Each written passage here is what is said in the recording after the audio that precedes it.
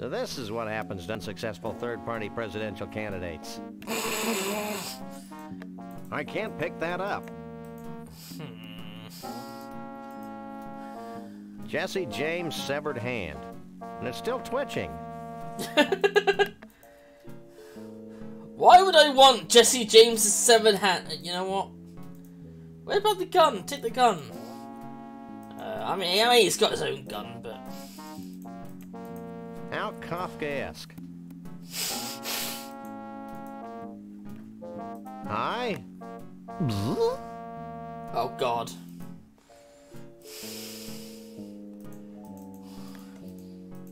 Jesse James' severed hand. And it's still twitching. I can't use I can't use the I can't use these things together.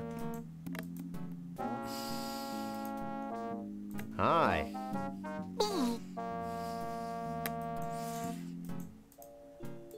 Hello? Good, need to sort of translate, aren't we? Bye. Hmm.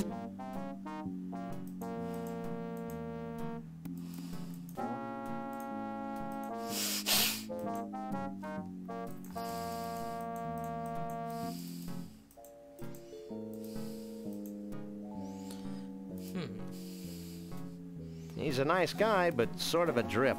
Oh, I can't pick that up. Hi? yeah, we're not gonna get anywhere with that, are we? He looks delicious. Hi? Great. He's not my type. Uh, which one do I talk to? Me, me. Him, him.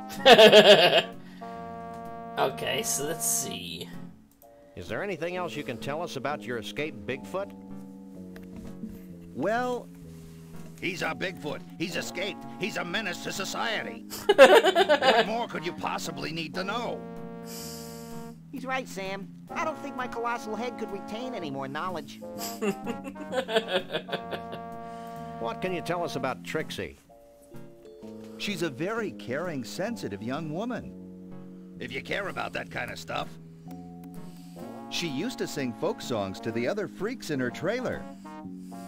you ever heard a Scrantonese folk song? No. You don't want to. Oh, there was one other thing. Mm-hmm. She likes her men like the Statue of Liberty. Green and rusty? Tall and dense. Huh. Who are those guys we bumped into out by the gate? Uh, what guys? One was a short guy with big hair. The other one was a tall guy with big hands. Oh, you must be talking about internationally renowned recording star Conroy Bumpus. And his assistant, Lee Harvey.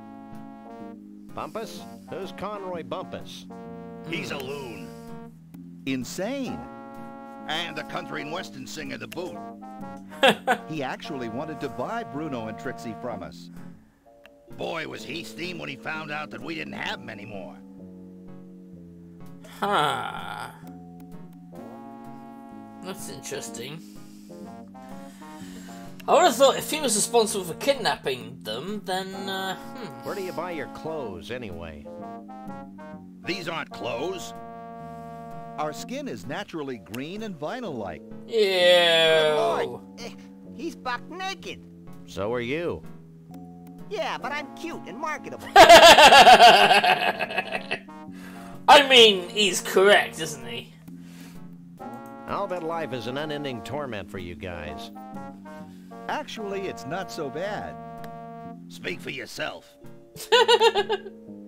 Well, it's back to the Bigfoot hunt.